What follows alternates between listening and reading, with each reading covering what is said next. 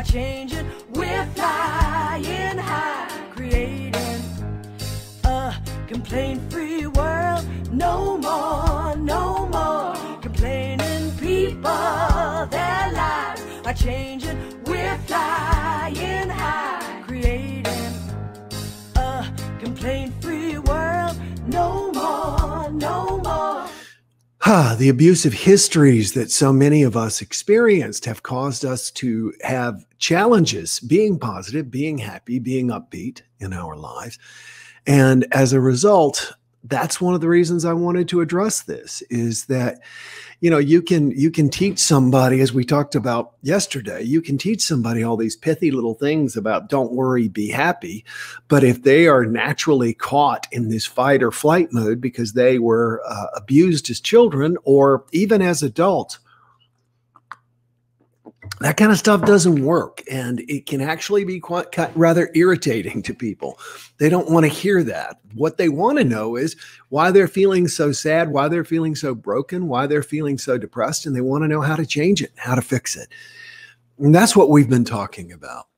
So like i said and i just want to recap this approximately one out of every two to one out of every four people so let's split the difference one out of every three people were seriously emotionally, physically, sexually, verbally abused as children. And I've been sharing very candidly some of my experiences as as what I was going through and also more importantly what I'm doing to heal it. The concept of what I'm sharing with you of first acknowledging it, I did that, feeling it, did that, letting it go, releasing it, did all of that as well and I'm encouraging you to do it too, because one of the things we need to remember is that um, as Beverly Engel, this is the book we're using, The Emotionally Abusive Relationship. When you look at emotional, having been abused, you really don't have a lot of choice when you get older. You're either going to abuse or you're going to be abused or both. One of the things that I've not really talked about is that it is not, excuse me, uncommon for people to abuse each other. Now, it is, we, we have been talking a lot about this, about this idea of there being an abuser in the relationship and a person who is abused in, let's say, a romantic relationship. However, in many cases, one person will abuse the other and it will become a triggering cycle that just goes back and forth and back and forth and back and forth. So we need to realize that that's a potentiality too, because then we don't feel like we're being abusive. We just feel like we're, we're responding in kind, or should I say, unkind. When someone puts it out to us and we put it back, we don't feel like we're being abusive. I'm not saying that I do that or you do that. I'm just saying when one does that, then we feel like that what we are doing is just it's a justifiable reaction. And as we talked about yesterday, fear is the source of all reactions. Action comes from love, comes from healthy emotions. Fear is what triggers reactions. Last night, I sat down and I rewatched for probably the, I don't know, 10th time, the movie Joker the one with Joaquin Phoenix that came out a few years ago. I've always been a big fan of the character, the Joker, when watching Batman.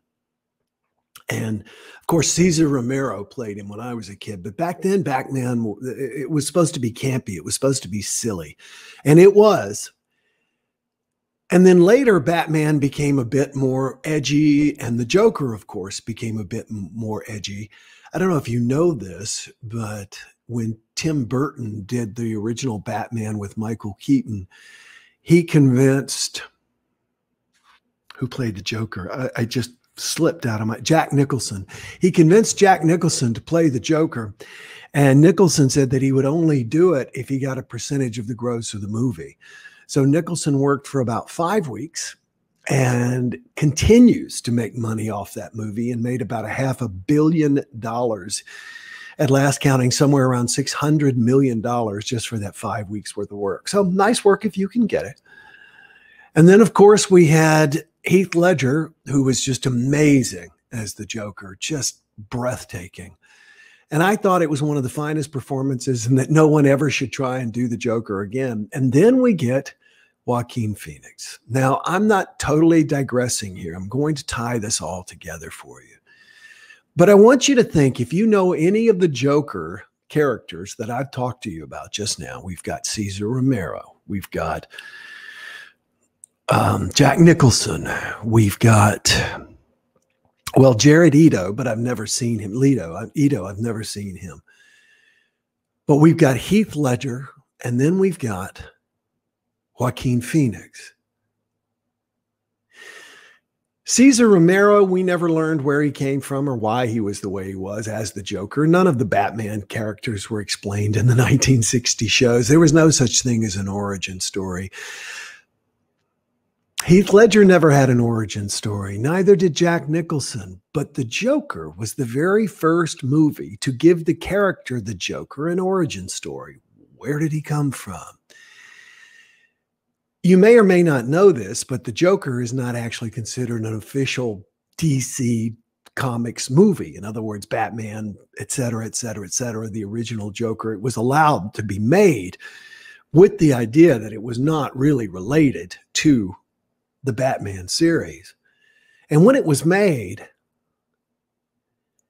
it was decided that the Joker, if you haven't seen it, I'm going to spoil it for you. You find out about 80% of the way through the movie that Arthur Fleck, who becomes the Joker, played by Joaquin Phoenix, was an abused child. He was an abused child. There's a lot of holes in his history and holes in his past. And as he starts to dig, he finds out that his mother, who he has a very unhealthy relationship with, was in a mental institution. When he goes and gets her records, he finds out that he and has repressed the memories was a terribly abused child. They they don't go into a great great detail. They show a few pictures of like a boy with bruises on his back and his face and then they comment that the boy him was found chained to a radiator. So isn't it interesting? The joker is just this bad guy in all the other movies because we don't take the time to get to know who the Joker was. And one of the things we need to remember, as I've stated many, many times, and, and like this book, because it talks about this idea, is that abusers were first and foremost abused. And when you can begin to understand that, it becomes easier to forgive them and then to approach things with less anger and less passion. So today we want to talk about this concept of watch out for it. There's a very sad truth about being an abused person. And I think you'll see it in the movie Joker. When a person is abused, it damages their self esteem, it damages their relating to other people in society. They tend to walk around afraid or angry, and either of which makes them defensive.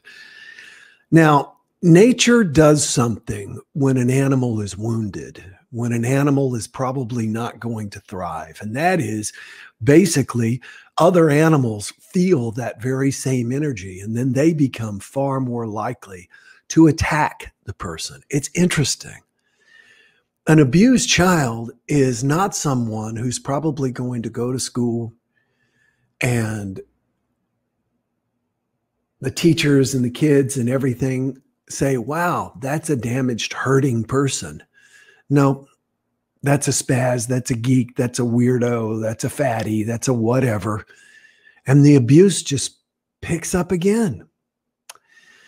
And that's what makes it really, really difficult when you're trying to break this pattern of abuse in your own life because you feel like you deserve it. So you go out in life expecting the world to slap you down, treat you bad, et cetera, et cetera, et cetera. And so you often walk out with a chip on your shoulder. And that chip, people see it, even if it's not a literal chip. And then they come along and they try and knock it off. This, in my mind, is the really sad thing about a person who is abused as a child because they walk out into the world expecting it to continue, and the world responds. Other people respond. They recognize that person's weakness, and it has nothing to do with that person's size. I sometimes wonder if maybe that was the reason I pounded on so much that was a that was a double entendre pounded on so much weight as a child the reason i got up to almost 300 pounds is simply because i was afraid and i wanted a bigger size i don't know all i know is that the more we look for abuse first of all we need to be realize our patterns and see how we tend to treat to attract it. And one of the things I really like about this book, I keep wanting to hold up my phone because I'm reading it on my phone on my Kindle app, is that she gives you lots and lots and lots of exercises. I was sitting down doing some of them this morning. And it takes a while. It takes time. Some of them make you cry and some of them make you angry but you've got to realize your own pattern if you want to break out of it because you're just going to attract it it is this weird thing about relationships. And you know, I've been married and divorced three times. And I have read probably 20 books on relationships. I have written a best selling book on relationships. I've got a program on relationships. I created a, a, a gift item for couples uh, to keep their relationships. It's a, it's a game I created uh, back in my 30s. And yet, with all of this, what I think couples need to know is that there is this unspoken vibration in the universe that seeks healing. Now, stay with me. It seeks healing. So you're not healed, you're not whole, you're not healthy from your relationship with your parents. You then seek to attract someone with whom you can heal that relationship. A lot of times it's someone who acts like very much like one of your parents. But instead of trying to heal the relationship yourself, because the relationship you've got to heal is that one inside of you, we expect the other person to do it. And then the abuse starts from them, or you begin to be abusive, and then either person can be abusive and it can just continue.